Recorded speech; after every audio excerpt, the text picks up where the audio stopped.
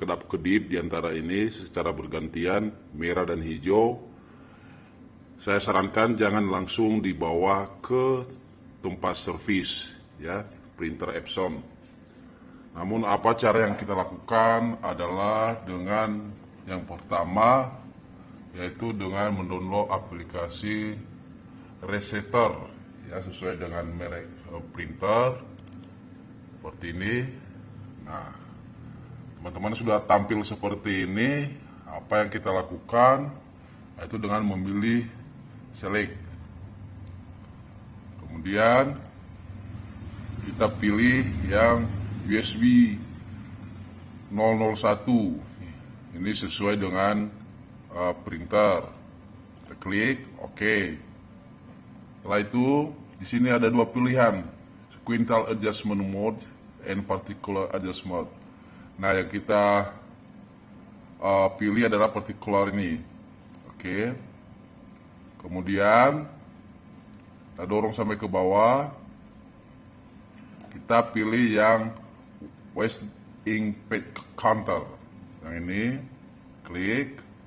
Kemudian klik OK. Setelah itu baru klik yang atau centang yang main page counter. Oke sudah, baru cek. Nah ini kenapa dilakukan pengecekan ini? Biasanya kalau uh, printer itu punya batas ya, uh, maksudnya batas kertas yang telah di print.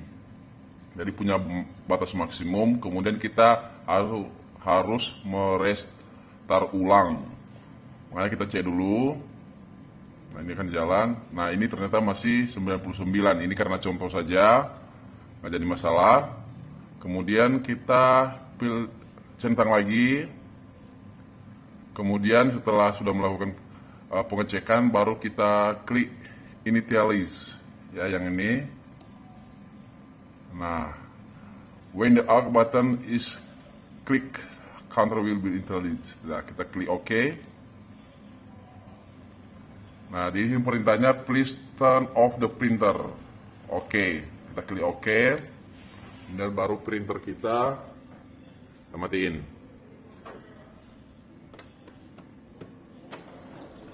oke ini sudah mati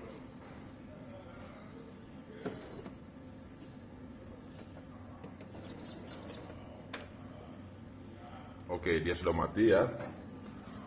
Kembali ke desktop, kita klik OK. Oke. Setelah itu baru kita klik finish. Baru kita close saja. Kita close.